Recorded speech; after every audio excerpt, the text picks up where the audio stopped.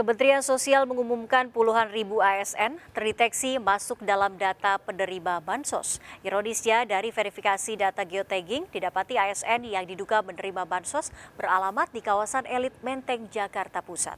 Nah, bagaimana Kementerian Sosial bisa menemukan data ASN yang diduga menerima bansos? Berikut laporan Vito Erlaga.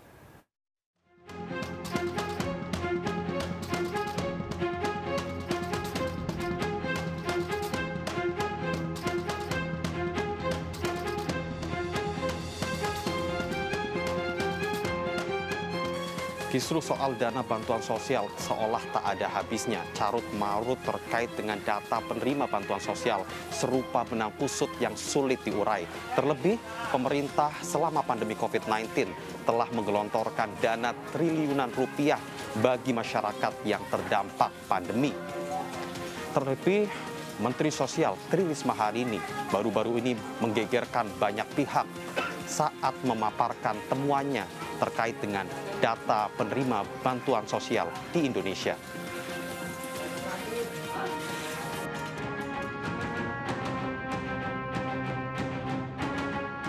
Guna mengurai benang kusut penerima dana bantuan sosial, Kementerian Sosial bersama dengan pemerintah daerah melakukan perbaikan data secara berkala Perbaikan data merujuk pada data usulan dari pemerintah daerah, situs usul sanggah Kementerian Sosial, data media, data bencana, data dari pejuang muda Kementerian Sosial, dan analisa Kementerian Sosial dengan geotagging dan data spasial.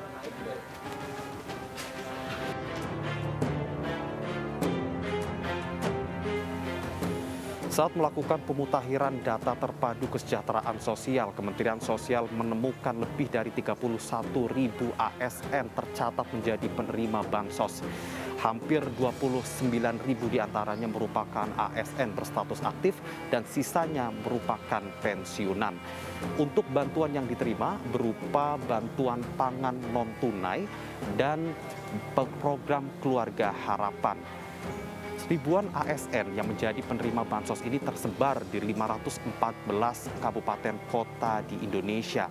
Mereka merupakan ASN dengan profesi dosen hingga tenaga kesehatan. Bahkan lebih parah lagi, Kementerian Sosial juga menduga adanya aparatur polisi dan TNI yang menjadi penerima dana bantuan sosial. Namun hal ini masih dilakukan pendalaman dan konfirmasi dari instansi terkait.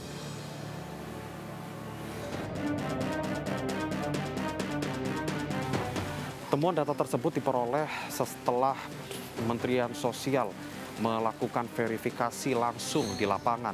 Kementerian Sosial juga menemukan sejumlah penerima bansos dengan alamat yang geotaggingnya bergeser dari titik alamat sebelumnya. Bahkan Kementerian Sosial juga menemukan penerima bansos ASN beralamat di salah satu kawasan elit di ibu kota yaitu di Menteng, Jakarta Pusat.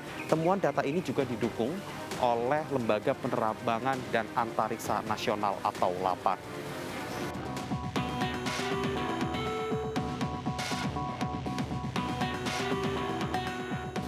Kementerian Sosial telah menghilangkan data ganda penerima bantuan sosial sebagai upaya memperbaiki distribusi bantuan sosial di Indonesia. Total sebanyak 33 juta data dihilangkan. Tak main-main, angka ini setara dengan 11 kali penduduk kota Surabaya.